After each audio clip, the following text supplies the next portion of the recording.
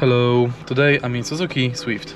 In this video I'll show you how to play music from smartphone via Cars system. In the beginning, let me tell you that unfortunately we can't play music from smartphone via Bluetooth, even that we are connected with the system via Bluetooth. What we have to do is we have to plug our smartphone with the car via USB cable because thanks to this function we can enable Android Auto. Now, when we are plugged, from the home page select Android Auto. Now, to play music, you can go to menu and play it from YouTube Music or Spotify.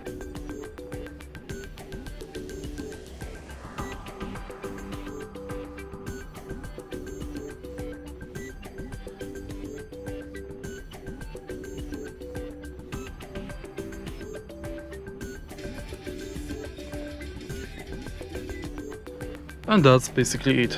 If you find this video helpful, please leave like, comment and subscribe.